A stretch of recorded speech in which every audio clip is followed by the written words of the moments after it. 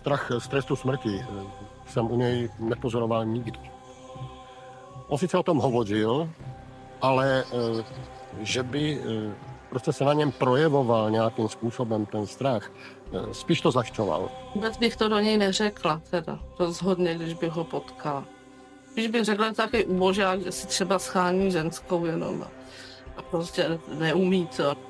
Ani on sám nevěděl vlastně, koho, on, on nikdy nevěděl, koho, koho za, vlastně vraždí. Jemu to bylo jedno, jemu šlo prostě o objekt. I v únoru 81 přijel na kliniku major Mariška a docenta, pozdějšího profesora studenta a mě naložil do auta a odvezli nás do Brna, kde před několika málo dny se stala ukrutná vražda krásné dívky.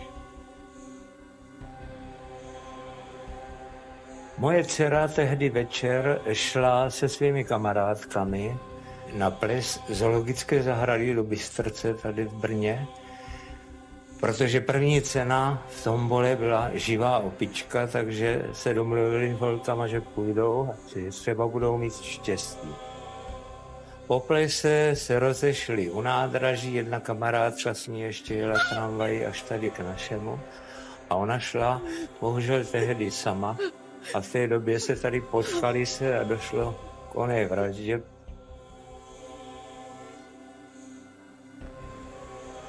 Ráno jsem se rozhodl, že půjdu, že půjdu nakoupit.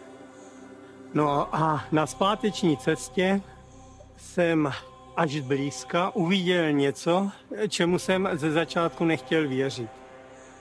Totiž tam ležela, leželo něco jako figurína, tak jsem přišel blíž a teď teprve mě polila hruza, co jsem uviděl. 39 bodných ran a odřezané genitálie. Takový byl závěr soudních lékařů v případě Ivany Mátlové. Na vraždě, která pobouřila celé Brno, začaly pracovat týmy kriminalistů. Jedním z hlavních úkolů bylo stanovit psychologický profil vraha. Ani s posudkem vypracovaným předními sexuology se vraha ale nepodařilo dopadnout.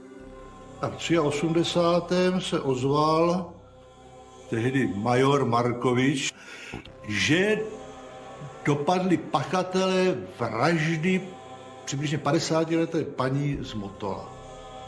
A že bych chtěl, abychom na něho udělali posudek. V té době nikdo z kriminalistů nepředpokládal, že případ motolské vraždy může souviset s brněnskou vraždou Ivany Mátlové. Byla uh, nalezena mrtvola ženy, která byla uškrcená. Měla uh, jako škrtidlo měla unčochové kalhoty povinuté kolem krku několikrát a pevně uvázané a, a byla vyslečená do naha, byl předpoklad, že mm, prostě byla sexuálně zneužitá. Vyšetřování motolské vraždy probíhalo standardním způsobem.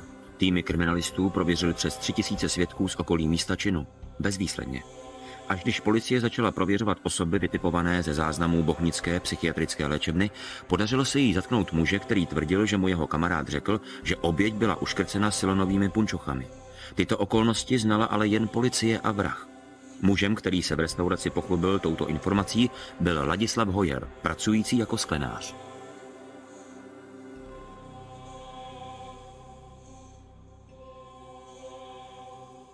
Kdyby v té hospodě nežvanil, že o tom něco ví, že by mohl o tom něco říkat, tak asi by se na to tak brzo nepřišlo.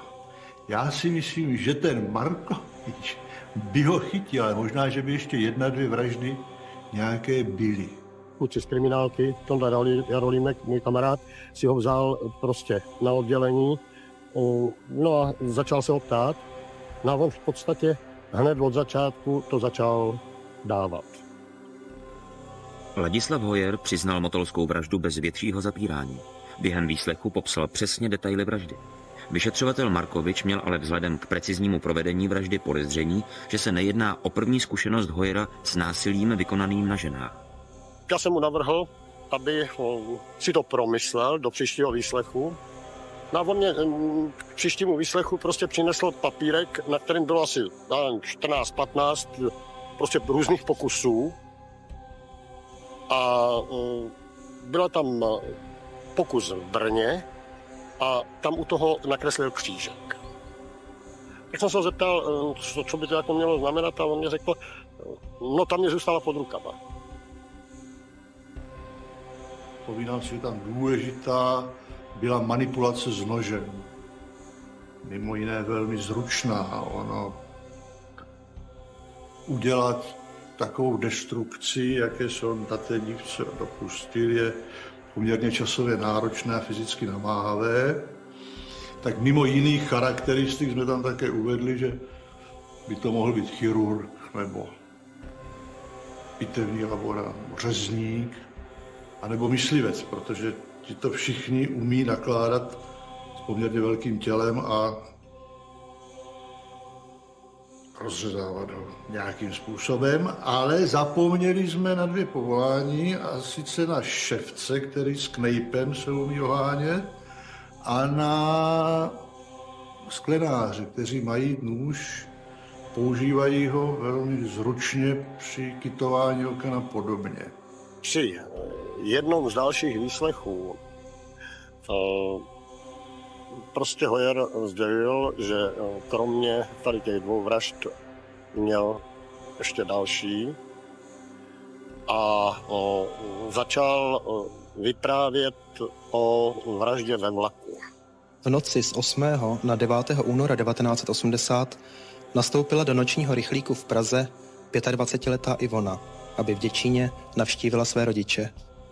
Rozloučila se se svým manželem, slíbila mu brzký návrat Netušila, že do vlaku nastoupil i vrah.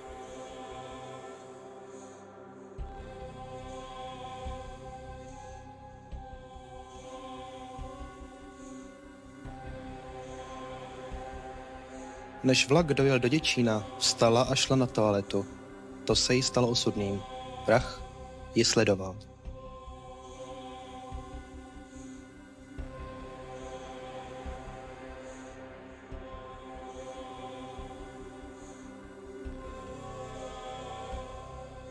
Vyšetřování vražedného běsnění Ladislava Hojera trvalo více než dva roky. Během každodenních výslechů začal mezi vrahem a vyšetřovatelem Markovičem vznikat vztah, který mnozí přirovnávali ke vztahu otce a syna. Markovič věděl, že Hojer je, abych tak řekl, žravej. On sice byl hubený, trošku přihrblej, tačí profil, padlé tváře, nahrbený, takový málo ochlupený, teda fousy moc nerostly rozhodně se nedá říct, že byl půvabný. Nicméně ten Jirka Markovič tam odhalil tu jeho velikou žravost, která na tom těle se neprojevovala. No a já nevím, jestli je to nebo bylo něco zákonného nebo nezákonného, fakt je ten, že vždycky, když ho vyslíkal, tak mu tam přinesl jen tři čtvrtě kila, tehdy byl točeňák, za 2,60, no tak Hojer se najedl a pak si povídali, no.